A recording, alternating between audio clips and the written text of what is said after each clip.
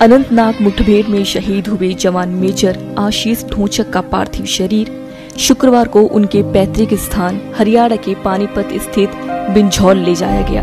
वीर योद्धा के अपने पैतृक स्थान पहुँचने की इस अंतिम यात्रा को जिसने भी देखा, उसकी भावनाएँ उमड़ पड़ी।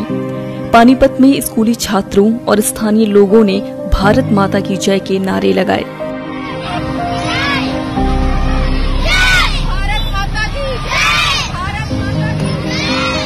बता दें कि जम्मू कश्मीर के अनंतनाग में आतंकवादियों से लड़ते हुए मेजर धोचक शहीद हुए थे। बिंझौल के लोगों की आँखों में जहाँ अपने वीर योद्धा आशीष के लिए सम्मान दिखा, वहीं आतंकियों के लिए रोष नज़र आया।